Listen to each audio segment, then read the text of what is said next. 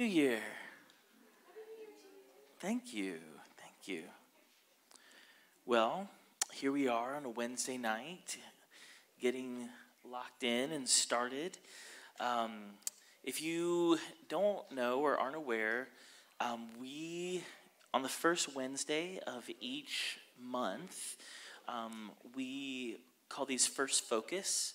Um, so we're going to be praying together tonight a little bit uh, and learning about how to pray into things in the scriptures. So that should be a lot of fun for us. Last year, we worked through the Lord's Prayer. And so we took a little phrase kind of each month and talked through that. And this year, um, we're going to be doing Second Chronicles 7:14 and going to be unpacking that. And so I'll explain a little bit tonight, kind of give you a mini introduction, and then we're going to touch on one word tonight. Um, and we're going to unpack, of course, because, you know, I'm weird and we can teach a whole, you know, night on one word. Um, and it's probably not a word that you would think it's going to be. Um, so hopefully you'll, you'll bear with uh, the strangeness of that. Um, but I, I am really excited because, you know, this year, um, if, if you haven't heard, or I want to just put this little plug in, um, we are going to be reading uh, the Gospels um, starting next Tuesday until Easter.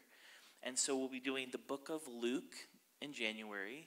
Uh, in February, we'll be doing uh, the book of John. Uh, in March, we will be doing the book of Matthew. And then the week of Passion Week, we will be reading the whole book of Mark. Um, and, that, and so what that averages out is one chapter a day.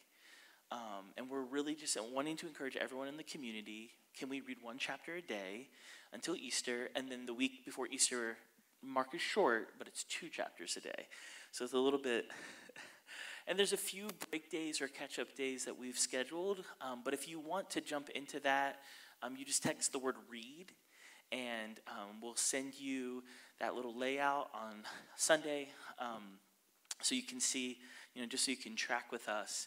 Uh, and then we'll also give like just some periodic reminders, encouragements like, hey, if you, if you miss January, jump on in February. You know, grab at least one of the Gospels um, before Easter because um, I think it's to be really significant. And then, secondarily, uh, on Wednesday night, starting next week, we are going to be talking about a spirit led church and we're going to be looking at the book of Acts.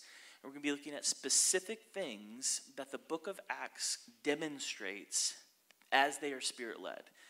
Um, and so it's going to be really fun. Some really unique topics are going to come up. We have a lot of different people who are speaking, so that should also be fun, mixing it up. Because, um, you know, last fall, I think I taught almost every Wednesday night, it seemed. Uh, there's a, there was a lot of them. And um, so hopefully, hopefully it'll be great to get some beautiful voices, um, you know, with us here and, and looking at some really unique things. I'm, I'm particularly excited just uh, with some of the people that we feel like the Lord's highlighted to us to ask. Um, and I know it's going to be a good time because whether you know it or not, NewSong is a church that's driven and led by the Spirit. And maybe we don't always look like a traditional church that's led by the Spirit, but we are very much led by the Spirit, and we're trying to help everyone see those things in a different way. Um, because unfortunately, we have gotten stuck and thinking this is what a spirit led church looks like, and we want to look at the scriptures to really understand what a spirit led church looks like, which are not always the same. Um, so, tonight we are going to be um, in this wonderful section of scripture from Chronicles. And I just thought that it would be helpful for us to um, talk a little bit introductory information about Chronicles before we get into the one thing we're going to talk about tonight. But before we do, I would just love to invite you all to just pray with me. Um, and we're going to ask the Lord to speak to us. Um, I think sometimes it's really easy for us to say things like that. But I've been really sensing in my heart that this year, 2024, is going to be a year that we have to really focus on listening. Um, there's something about listening this year that's really imperative, and So I want to make sure that we start kind of with a, a moment where we're going, all right, let's unclog these ears. Let's leave behind everything we've heard throughout the day. Let's maybe leave behind everything we've heard in our life about some of these things that we're going to talk about tonight. And let's receive what the Lord would speak to us, the implanted word, that it might bring forth fruit in our hearts. So, Jesus, we just thank you that there is never a time that you did not listen to the Father. And so here we are tonight, Lord, coming before you to listen to you speak again. Would you speak words of life, words that are creative in nature, words that bring life and healing and wholeness? And Lord, I pray that we would find ourselves overwhelmed by what you're trying to say. And so, Lord, just come and be amongst us and be with us as we, we look in your word and we look at just a simple, simple one word uh, and help us understand what you might be calling us into as we learn to pray in a unique way tonight. In Jesus' name, amen. So when Pastor Alvin was telling us about these first Focus Wednesday nights, he's like, "Hey, I want us to pray through Second Chronicles 7:14." And we've probably heard it at some point in our life. If my people who are called by my name will humble themselves and pray and seek their fa- seek my face and turn from their wicked ways, then I will hear from heaven and I will heal their land, right? There, I mean, I kind of give a paraphrase. There's a few other pieces in there. And so as I sat there and was like, okay, he looks at me and he goes, so you're going to set out how everything is laid out for this for the rest of the year. Which last year he did the Lord's Prayer, so I was like, great, I don't have to worry about that. So I'm sitting there and I'm like, I come out of staff meeting, and Chris and I were like chatting for a second.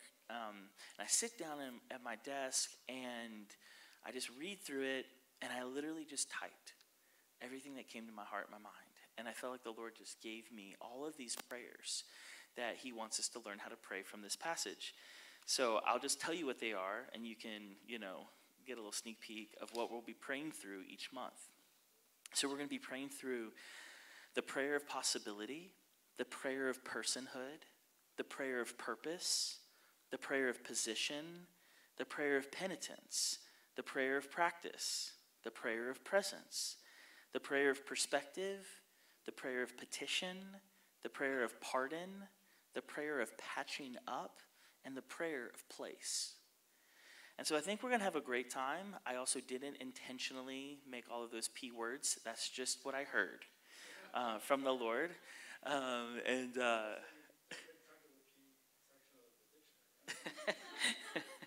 and so I'm excited tonight. We're going to be talking about uh, the prayer of possibility. And um, I'm excited to share with you just a few things that the Lord's been highlighting to me. But as we start, I want to first start with Chronicles. What are Chronicles? Why are we even talking about Chronicles? What is this book about? And I can honestly say it is not a book that people run to to study. Um, primarily because if you've read Kings and you've read Samuel, uh, you're getting most of that content all over again in Chronicles. But there's a whole lot more names.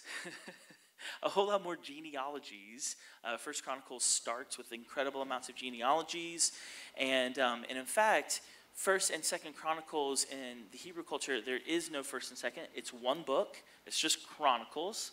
Um, but in that day that they were writing, they ran out of paper in the scroll, so they had to have two scrolls. That's why there's first and second. So hopefully that also helps you frame this that this is one big, long book. And if you were to read it all together, you would get one big, big picture. And the picture of the book um, is unique is unique for a couple reasons. One, it is anonymous, so we have no idea who wrote it, um, but we do know about when it was written.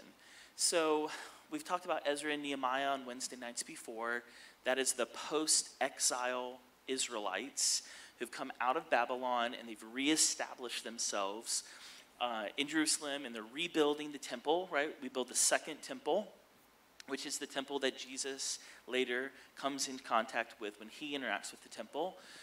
And, um, and so after Ezra and Nehemiah, Chronicles is written and the author of Chronicles has basically decided to do a survey of all of these things that are going on in Kings and Samuel to do one big thing for us. And that's to say, we're still looking for a king who is going to change everything because we haven't found him yet, and we need a better temple. Those are the two big pictures that are developed through the whole book of Chronicles. If you read through it, all it's going to talk about is David has a lineage, it's a dynasty, and every king should be like David. And when the Messiah comes, he's going to be like David. And so there's this whole mindset that you have to be a king like David if you're going to be the Messiah. It's interesting that in Chronicles, there's literally a lot of edits. You don't get a whole lot of the bad side of David, so to speak. Like you don't get Bathsheba, you don't get Uriah, you don't get him chasing Saul in the wilderness, and you, you don't get any of that. You just get all of the good that David has because they're trying to prepare their hearts for the Messiah who's coming. Because um, obviously, in their mind, the Messiah is not going to be one who's going to do bad things. So we're trying to extract from David who that Messiah is going to be, what he's going to be like. And it's saying to the Second Temple people, he is still coming. We're not there yet, but he is still coming. And then, secondly, there was all of the hubbub around building the second uh, temple because it just wasn't as good as Solomon's. Now, if you go back and you read about Solomon's temple, it was magnificent. It was gold, it was big, it was grand, like just grandiose in all ways, shapes, fashions, and forms. And so there's this sense of like, now we have this like puny second temple. Now, really, it's not puny. If you were to like look at the measurements, you're like, no, this is still a very large edifice. But they felt like it wasn't significant enough. And so the second part of Chronicles is really highlighting to them there's going to be a better temple. It's when this new Messiah comes and he, he brings the kingdom of God and he establishes God's kingdom for all of Israel, it's also going to have a better temple. And so the whole thing is just locking and loading their hearts and their minds into realizing he's coming. We don't know when. We know he's going to be like David. And that's about all we know. And then we know there's going to be a better temple. And so, um, with that in mind, uh, we walk, you walk through all of Chronicles seeing these different pictures of the Messiah and of temples, particularly. And, and so when you get into Second Chronicles um, and you get into chapters 1 through about chapter 9, you get all of this magnificent expression of Solomon. Now, one of the things that's really special about Solomon is that he's a lot like David in some ways, and he's nothing like David in other ways. So he's primarily a man of peace. Um, we see that. He basically doesn't want to fight with anybody, he doesn't want to go to war with anybody. Um, and, and we see that in the scriptures, the Lord says that Solomon can build the temple because there's too much blood on David's hands. So there's a redemptive, restorative reality that David could have been the one who built the temple, but he's a fighter. And we need to like not have the king who's a fighter. We need a king who is a man of peace. So Solomon's this man of peace. And in chapter 7, where our verse that we're focusing on is couched, um, we get the picture of Solomon dedicating his temple. And we kind of get an untel- a telling, a retelling of the story. And it's a crazy story. I mean, they sacrificed 22,000 animals like, I want you to think about that for a second 22,000 plus animals because they wanted that level of sacrifice to God. Um, and you're like, why would they do 22,000? Um, because they're really, really in their mind, if God does not have a temple, then they cannot be his people because he will not be in the middle of them. Um, he will be out and about and far. And in the ancient Near Eastern world, all of the gods rage and they're in the, the heavenlies, but they almost never come down and make habitation, which is why Yahweh is so unique because he says, I want to come and I want to be amongst you. I want to be with you. I don't want you to think that I'm far off. I'm going to be in this thing right here. And so, um, in the beginning of chapter 7, uh, he, he dedicates it to the Lord. He, he, it's such a beautiful thing. I mean, crazy things happen. God comes in such a powerful way that no one can even function. Um, there's no one who can offer anything else. They're all just uh, overwhelmed by the glory of God. and, and just filled with the presence of God in that space because God has said, This is going to be my people and this is going to be my place. And he was so full in that place that they started to sing. Um, the, the, the love, the steadfast love of the Lord endures forever. Uh, his mercies endure forever. And that was their response to the Lord showing up in such a magnificent way.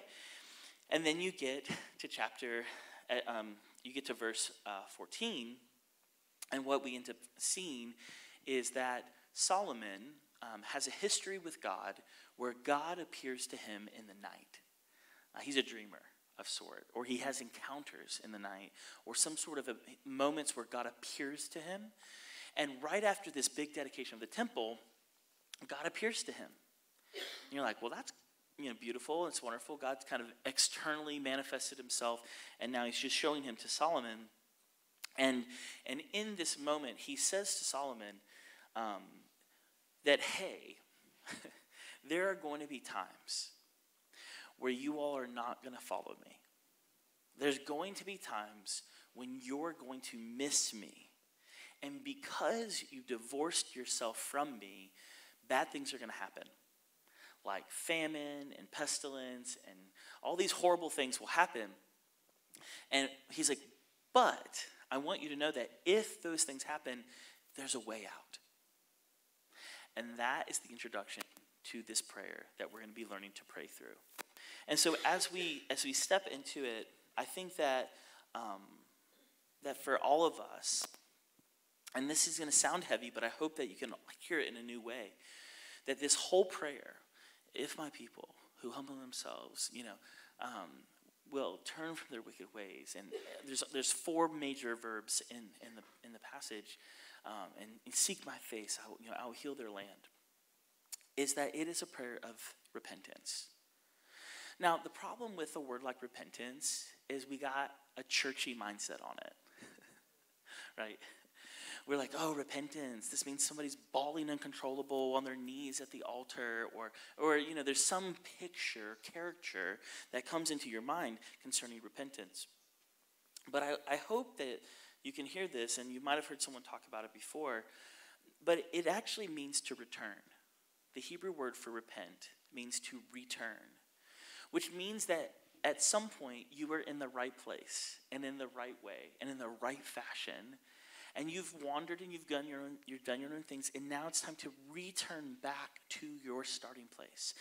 Back to the place that you were designed to be and designed to function in. Um, pastor alvin on sunday alluded to this when he was saying that you might have wandered you might have done all these things but but go back to your mother's womb that's where the Lord fashioned you and formed you and made you, and that's the place you're supposed to live from, not all of the formations of this world. And um, and so I think for us, as we step into it, it's like, oh my gosh, like repentance. I feel like, oh, I'm such a sinner, and I just need the grace of God, and I'm a worm, and there's all of this couched in repentance a lot of the time. But I just want to encourage you to think that Repentance is just returning all things back to the Lord. Every part of your heart and your life and your mind and your relationships, it's returning them all back to Him. And if we can return everything back to Him, there is the promise of everything being righted and restored. And so, as we come into this famous passage of, if my people who are called by my name, you know, that it's an invitation to us to recognize that there is a restoration available today. There is a restoration of all of the things that doesn't feel like it can ever be fixed and restored, but there is an invitation to step into that place of prayer. And so, what I would love for us to start is a simple question where you're going to get in groups of two or three. And, and the question that I'd love for you all to answer is how, how do you see prayer as an act of restoration. How do these things connect?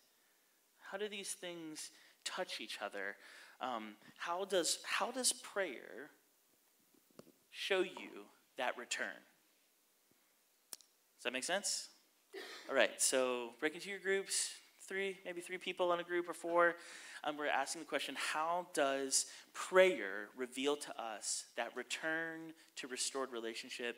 Or how has prayer been that for you in your life? Or how can we imagine um, prayer being a return to our relationship with God? Ready, set, go. I'll give you like six minutes.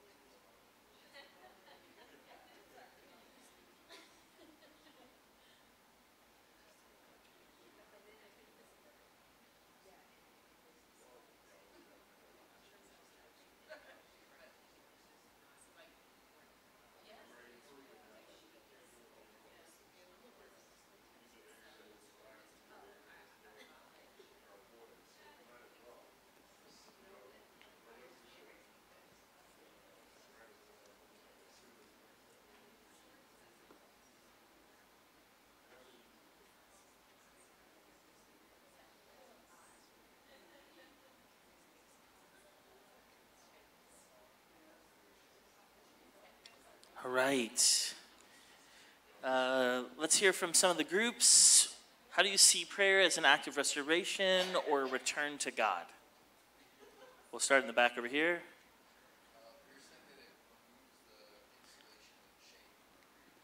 It removes shame. Okay? This group.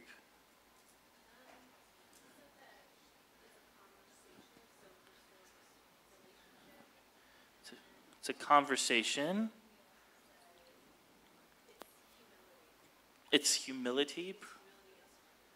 Humility and surrender. This group?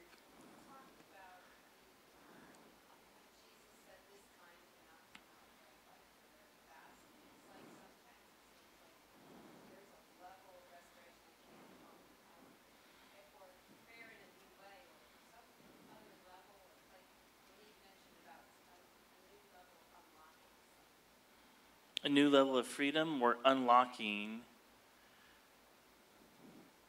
that happens because of prayer. I like that. It's cool. In the back, mom and son duo. What? A choice. Love it.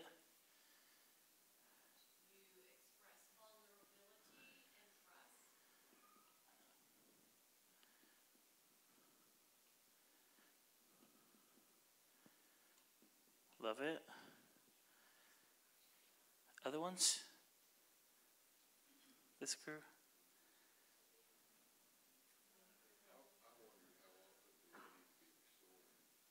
You wondered how often we need to be restored. It's a great question, John. Yeah. Yeah. Yeah. No, I think that that's a I think that's a really good a really good insight is how often have we just stepped away every now and then? Yes, sir.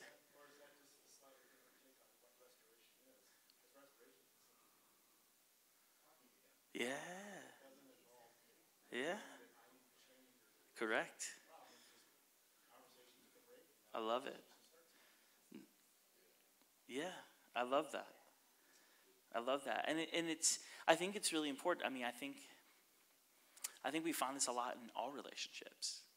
That, um, you know, there, there's this old saying that most of the time when people are talking to you about something, they don't actually want you to change anything, they just want you to listen.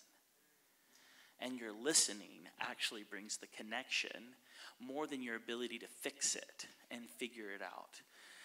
And I wonder if, in some ways, you know, prayer does help us reorient ourselves, not where we're coming to pray just to get something from Him, but more coming into the place where we're with Him. And when we're with Him, what happens?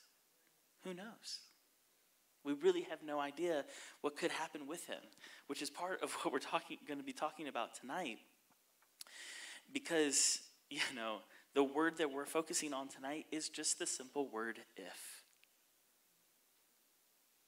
I mean, this prayer of restoration starts with this little word if. Some versions don't even translate it as if, they translate it as and. But if you read the verse ahead, just so you know, it's, it's a conjunction. So the ifs are continuing, even if it's not explicit in your Bible. And, and this word if is, is a, a strange word. Like if you think about it, if you're trying to describe somebody, what is if? You know, uh, I, I think it's not that easy to explain, like, if means this. And so I was like writing down a bunch of things, like, oh, what could if mean? You know, it's like, oh, um, you know, it's normally a conditional word. If this, then that, right? That's how they teach it a lot in school. The conditional statement, you know, uh, has the if and the then. Um, I wrote that it's the, it is a word that sometimes is full of possibility that if I'm wondering or if that could be a reality or if that could happen, uh, it's a word of hypothesis. It's a curiosity word, which I think is really important as we come into the place of prayer, that we don't just come into prayer just trying to fix it. We don't just come to God just trying to fix the thing. We come into relationship to say, I'm open to the possibility. Now, what is the possibility? It could be different for all of us, as we're going to find tonight. But it's funny to me, I thought this was very interesting. The, the Hebrew word for if is hain. Um, so, you know, you remember, right, that this, that's a long vowel from grade school. Hain. And, and, um, and so often it's translated lo, right? King James mostly. And most of our modern translations, they translate it as behold. Which is funny because I don't always think of if as being a lo and a behold moment. But if you think if you think about it, you recognize that if postures you to look. And so what happens when I step into the place of prayer, I start looking for something. I start looking for anything that I, I'm open to receive. It was just so funny because, you know, I was sitting there reading through this verse and it, I, I read the if and I just, I felt like the Lord just pressed pause on me in that moment. And I was like, what? And he's like, Jason, too many of us are not praying with possibility. It's funny because a lot of the work that I do are, are with people who are learning how to have relationship with each other. And most of the time, almost all the time, one party wants to be right, and that means the other party has to be wrong, right? This is normal fights that we have in relationships. It doesn't matter if it's moms, dads, parents, children, husbands, spouses. Uh, it's every relationship, basically, somebody thinks they're right and the other person thinks that they're wrong. And that is all of the tension but if they came into the moment of relationship with each other and they decided that they were going to set aside their rightness and their wrongness and be open, then there might be other options available. If is almost like an invitation to brainstorm with God where you're not just coming to God and saying, All right, God, I want you to do this thing, and that's going to be great because this is what I'm hoping you'll do. And it's also not God coming to you and saying, Hey, you have to do this or else. So much of it is you come into that moment with Him and you're like, What could we do? What could happen if we were together? Could this change? If we were together, how could it be different? And all of a sudden, we're caught up in this moment where we begin to imagine our whole lives with God, not without Him. That our return, our repentance, brings us back to the place not where He's sitting there ready to beat us up for everything we didn't do right and how we went down the wrong path and how we did the wrong thing, but it's more about Him saying, Hey, you've come into this place now, and then what can happen? You know, because otherwise, if we don't come into prayer with the if mindset, then we feel like we're throwing spaghetti at the wall waiting for something to stick. Or we're yelling at the ceiling expecting a result. But if we come in with an if, if we come in with this behold, this lo, this let's look at the whole thing, Let's look, like if we stopped right now and you thought about something that you're praying about and you want it in this in this specific way, what you're missing is all the other ways it could happen. That you've narrowed everything down and made it very small and very limited, and the God of the universe is not limited. Why are we trying to force him into a small, narrow mindset on everything that could happen for our lives? Because we come into this thing thinking that we're right. And the if invitation to our prayer is to say, I don't have to be right. And God's like, well, I'm not trying to force my rightness on you, but can we do this thing together? Can we be invited to look and behold all of the possibilities in the universe? It's so funny that um, in in premarital counseling, um, we talk about this a lot, where, you know, she wants to do it this way, and he wants to do it that way, and and what you realize, like 90% of the time, if you sit down with this mindset for possibility, this mindset for openness, this mindset for brainstorming, you realize that neither one of your ways is actually better than the other way. It's just different. Now, you can keep fighting over whose different way is better, or you can come up with a way where both people feel like they're in it together. Our prayer is to bring us to the place where we're doing the whole thing together. If it's a vending machine, it's not together. Because I can walk away from a vending machine whenever I get what I want and leave it behind. This is the danger of praying to God like a vending machine. But a prayer of possibility says it's more like GPS. I have no idea what I'm doing with my life, but if I am with Him, we can recalculate, recalculate. New route found. Seven minutes cut off your time. Like, we can live in that place of prayer with the Lord if we believe that prayer is a prayer of possibility. And this hope for restoration that Israel, who's come out of exile, they've come out of captivity, and the Lord's already saying, You're probably going to get it messy and wrong. I want you to come back and reimagine with me what it could be. I want you to come back and I want to do it with you instead of you doing it by yourself and thinking that we're going against each other. We're on the same team. What happens when we pray that way? What happens when we start looking and beholding not just Him, but everything? Because if is about seeing. it's funny because I, I looked this up. Um, you can see very clearly, it comes from two words be and hold. Hooray! and the word be means about, around, um, or, or sometimes even so far to say on all sides, which I love. And then hold means to keep, to guard, to tend.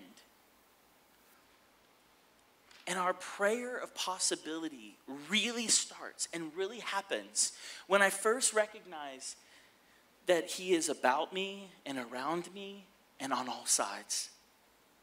And when He is, then I can keep my focus on the about, around, and all sideness of Him. And my guard is always there because He's about, around, and on all side of me. And then I can tend to anything because He's with me. This is beholding. This is looking at the world and not fearing and not worrying and not being overcome by the pestilence and the famine and the, and the locust and all the things that in the Bible we see happening. And today it's maybe not those words, but maybe it's anxiety or maybe it's fear or maybe it's um, a wrong desire. But we don't have to worry about any of that if we're with Him, beholding in prayer and looking at the whole thing and saying, recalculating. Okay, let's let's look over here. Let's look over here. Let's look over here. And the stories that we read in the scriptures are so often that. And very rarely are they point A to point B. And we're too hard on ourselves because we think that God is expecting us to go from point A to point B. And He's saying, I don't care what points you're going to, I just want to be with you. That is the way we approach the prayer that brings us back into a return and back into relationship. I remember a professor said this to me, it was so upsetting to me. I was about to graduate undergrad. He was my favorite professor of all time. He, he taught this beautiful book on Exodus that I felt like wrecked me forever. And I did his men's Bible study. I did all these things. I spent so much time with him the last two years of my undergrad. And we sat down, and I was like, all right. I'm like, Doc, I'm like, I could go into counseling and be a professional counselor because I'm really fa- fascinated about interiority and the inner world. And I feel all the time. I could, I could do worship follow the pathway to do worship and sing my guts out to the Lord, and, and that could be great because I'm always passionate about that. Or, because he's my inspiration, I'm going to be a, an Old Testament professor. I'm going to give my whole heart to being, you know, as nerdy as he was. I mean, he was like reading Ugaritic, guys, like these dead languages nobody cares about. And, and I'm like, you know, and I was like, oh, or maybe, you know, I can do the Old Testament thing and then teach worship because there's so much in the Old Testament about worship. You know, I'm like trying to cross hatch and, and I look at him, I'm like, what do you think I should do? What does God want me to do? And he looked at me and he said, you can do anything. It doesn't matter because he's with you. Now, listen, we love to be obsessive about our versions of destiny and God's plan, will, and purpose for our lives. Are we not? It's very manifest destiny mindset. It's very much driven by the establishment of how our nation was created, that I get what I want and I can grab it, and capitalism and all these things that are not inherently bad. But what I'm saying is, is that God's way? No. His plan, His purpose, His will for you is that you would be with Him. That's the point. Remember, salvation is the point. what is salvation? That we would be brought back into relationship fully with Him. He's saving you from everything else but Himself. And this is hard for us because we all want to feel like that's special. I have this purpose, I have this vision, I have this dream. And I'm like, yeah, but you have Him. He's actually better. Because you know what happens? And you can ask anybody and who's lived any amount of time that they came up with A, step A, I'm going to do X with my life. And they walk over, ta, ta, ta, and they get to that point, and they're like, oh crap, I got to come up with something else. And then da, da, da, da. And so many people have to keep putting points on the map, thinking that when they get to that point, it's going to fulfill them. And the problem is, is it won't. It's only Him. And all your life, and the rest of your existence, your heart will long to only be with Him and no job and no relationship and no amount of money or success will ever fulfill that. Controversial, I'm sure this feels. Because it's so contrary to the way the world thinks and operates. But this is the prayer of possibility.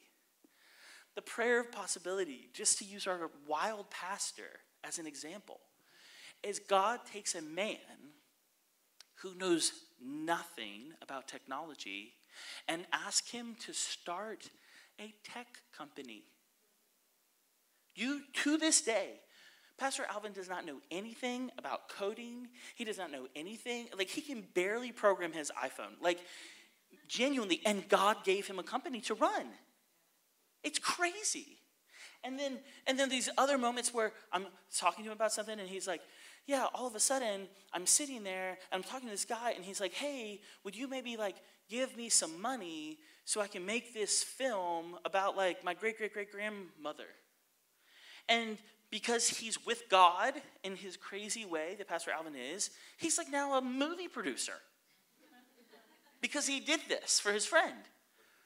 And then all of a sudden you're talking to him and he's like, oh yeah, my cousin wants to do this thing. And he, and he like, all of a sudden he's doing this thing with his, with his nephew, I mean. And you're like, this just doesn't make sense. These are not any of the things that he's wanting to do or great at doing. He's just doing it with God. And for so many of us, that is hard because we've trained and raised our brains and our hearts and our minds to think that when we get to this certain destination, that's it. But at the end of that, you're going to die unless you have him. And then you'll live with him forever. That's the whole point to be with Him, to be in connection. And this possibility says we can walk around the whole map and everything can change.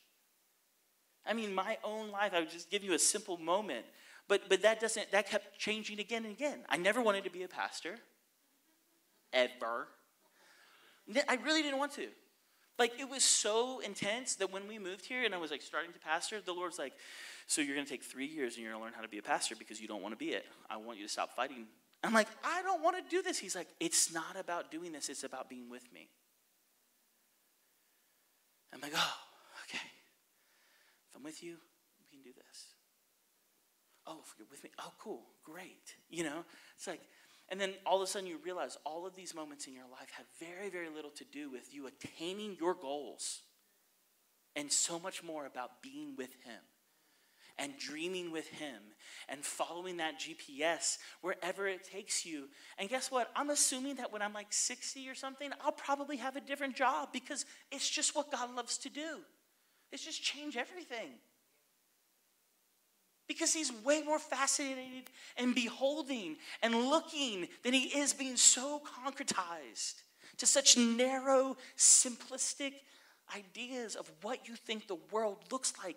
And it's much, much bigger than that. I was talking to a guy the other day, and he told me that his whole dream, his whole life was to become a politician. And he's like, he's going through all these things in law school, da, da, da, and he gets to this point where he's right on the edge of working on a campaign. And all of a sudden, because he's with God, the Lord's like, do not do that. And he's like, who knows how much money he spent on law school and on all these. And the Lord's like, I don't want you to do that. I want you to do this other thing. So he curves, does something, boom crazy things happen for him because he's with God. Doors open up. Not now he's not running for office. He's just talking to everybody who's going into office. And he's loving them and bringing the kingdom to them. And, and I'm like, see, it's just bigger than what you think it is. Don't live small. Live with God and live big. And prayer is cultivating that moment with us where whatever I think is or isn't possible, there's more that's possible than there's less that's possible. This if thing is not just about seeing, but it's, it's about time. Oh, we love to do things fast. Oh, we love to get there quick. God forbid you drive 25 minutes around here. My mom started joking on us when she came to visit us. She's like, oh my gosh, we have to drive like 12 minutes to that target, or like 11 minutes to that target, or like eight minutes to that target. it's just so exhausting to drive so far. Meanwhile, you know, for her, where she lives, it's like 35 minutes to Target, you know, to the only Target. Like, and then like, we just, we, we have this mindset of get there faster, get there quicker, hurry up, hurry, hurry, hurry. But what we miss is there's no possibility in my hurry. Because if I hurry, I've eliminated all other routes. And the detour might be better than the journey that you're on currently. I'm not saying this is pretty. I'm just saying that this is what prayer does to us. Is prayer is this moment where we come in with this if possibility and this if reality and we realize that the then is on God. Right? Because it's if my people pray, then he will what? Our land. It, the then is on God. The time is on God, not on me and my ability. The if is mostly about me being present to everything that's in front of me. We, we're really struggling with this prayer of possibility, and most of us are never seeing the possibilities that are available because we're trying to get there so fast. You know they call that? Tunnel vision. Myopia. Where you start seeing so small that the answer could be right outside of your eyesight, but you will never see it. The answer to the prayer you've been praying for hundreds of years, if you were alive that long, could be right there if you came into a place where you believed anything could be possible whoever is in your mind that's not there or not where you want them to be or that job that's not what it's supposed to be, guess what? It doesn't mean it's not there. It just means you have to lift your vision higher and wider. And your prayer can do that because you're with Him. Because He's, I love this so much. I was reminded of the, of the Psalms. As I was reading through all this, Psalm 115, it says, that we can be encouraged because we have a God who sees and a God who hears and a God who moves, unlike every other God that's an idol. Have eyes but don't see, and ears but don't hear, and hands but can't do. And that is not our God. And so, this time thing is saying that if we're with Him right here and right now, we can stay with Him as we move into the future. And it doesn't matter how long it takes, because it's still possible. And there is almost zero stories that tell us something different in the scriptures because Abraham and Sarah have a child when they are old. And barren women have children when their time is done. And people who think that they haven't got it get it at the end, not at the beginning. And so time is not a big deal to God. In one second, He can do more than in your whole lifetime. If we have a heart that's willing to pray with possibility, with an openness and a curiosity and a wide eyedness to say, God is actually able to be this and do this for us and with us, and sometimes even through us. If is about possibility, because if you can see it, and you can disregard your version of time, then there is nothing that is impossible. If you can imagine it and you could wait, everything can happen. Luke 1 tells us Mary's response in this moment is for, she's like, How can it be that the Son of God is going to reside in my womb? Well, for with God, nothing shall be impossible. you know, just the God of the universe occupying himself in a body, in a body. What happens when God is in your body, in a body? There's nothing that can't happen, friends. There is no limitations that exist when we come into prayer believing that anything is possible. Matthew 19. This is like another passage where we see they're asking the question of who can be saved. Because they're all worried about the rich not being able to get into the kingdom. And all the rich people are like, hey, how can we get saved then? And Jesus says to them, with man, these things are impossible, but with God, all things are possible. And Peter says this See, See, he's with the Lord. See, we have left everything behind. This is in Matthew 19. And we have followed you. What then will we have? And Jesus says to them, Truly I say to you, in the new world, when the Son of Man will sit on his glorious throne, which this verse, the Son of Man, is a Messiah reference his glorious throne is the place in the temple that he lives and dwells in. When that happens, you who have followed me will also sit as well. It tells us that God is able to bring salvation into every area of our life and existence. And he will fulfill what the chronicler has been trying to tell us, which is that there is a king who has come and there is a kingdom that is begun. And we are only barely at the beginning of. A couple thousand years is not too long for our God to work salvation in our hearts, and our lives, and in the midst of the earth. And so tonight, I just want to take the next five to ten minutes, and I want you to just sit and I want you to think about something that you feel like is impossible in your life. Impossible.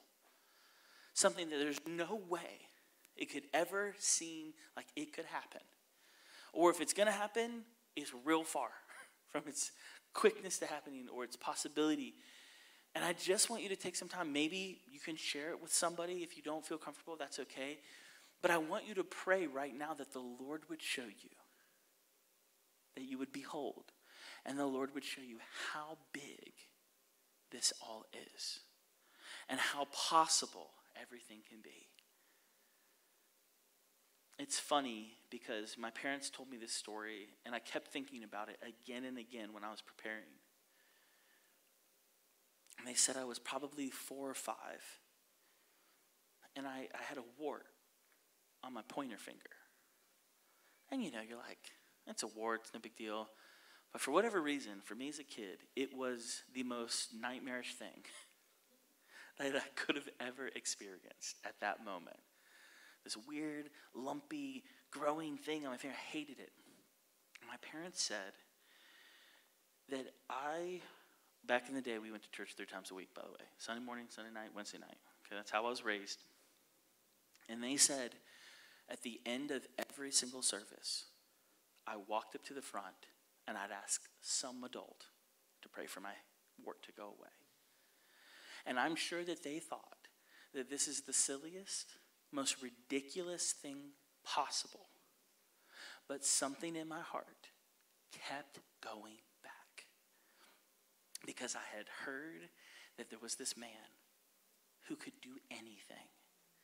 And I believed that there was possibility in that prayer. And guess what? One day I walked up and that wart fell right off. And as small as a wart is for us, how much more is anything that you think? He can't just one moment, one time, one more prayer, one more day, one more hour. And I just feel so strongly that there's such an invitation this year for us to begin to believe again that it is all possible. That whatever you have deemed too far out of your vantage and your perspective, that you would open that thing a little wider and a little higher. It's like they're showing us all these movies that have been filmed in a certain way. And because of our movie theaters, it's chopped off the tops and the sides. But now in IMAX, you can see the whole picture. And that's what the prayer of possibility does for us that you might think that the, the answer to what you've been searching for isn't there. But you know that there is history that says that they have taken the frames off of famous pieces of artwork and that they have found that there are other things on the artwork, on the canvas that was hidden behind the frame. The prayer of possibility opens up your world to say that there is more than what you currently think or know. And so I want you to just pray for just a few minutes for whatever you think is impossible. Because just like my wart fell off and the Lord saved my little finger from carrying that ugly thing, there's nothing that's too simple or too silly or too large or too big for Him to deal with. Will you pray with me?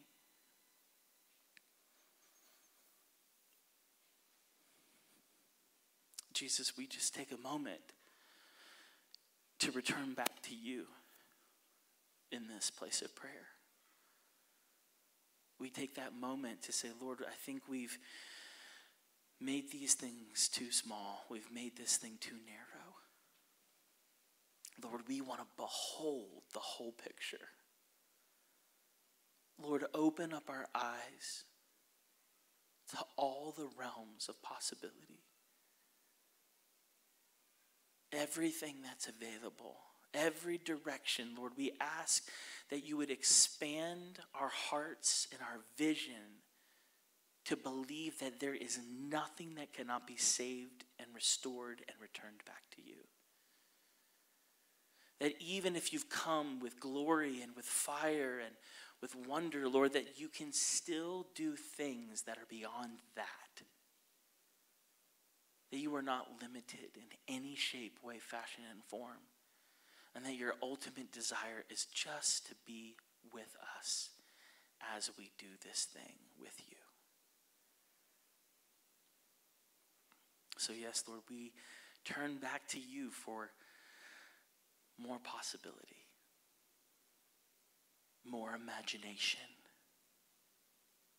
more vision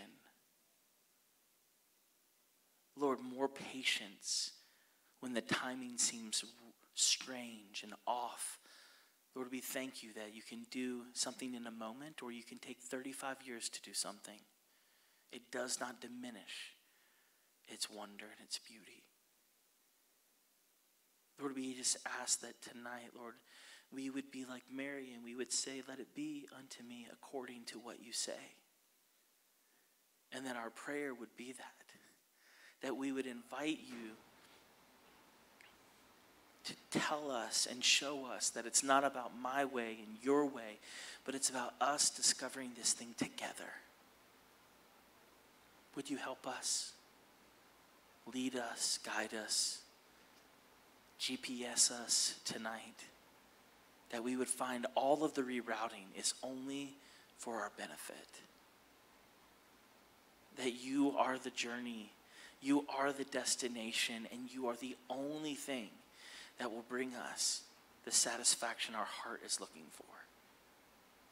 We ask that tonight our hearts would be open to the prayer of possibility, afresh and anew. That there is nothing too difficult for you. We just ask this in Jesus' name. Amen. Amen. See you guys next week as we get into the book of Acts. This will be good times.